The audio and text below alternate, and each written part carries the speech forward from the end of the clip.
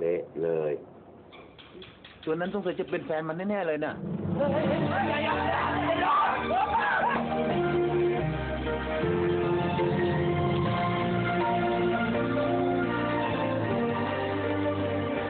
ทำไมไม่ใช้แผ่นป้าเพล็กซี่บอร์ดตั้งแต่แรก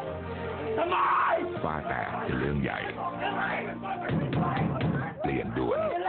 แผ่นฝ้าเฟล็กซิบอร์ดราเชล่า เนื้อเหนียว ตอกง่ายไม่แตกราว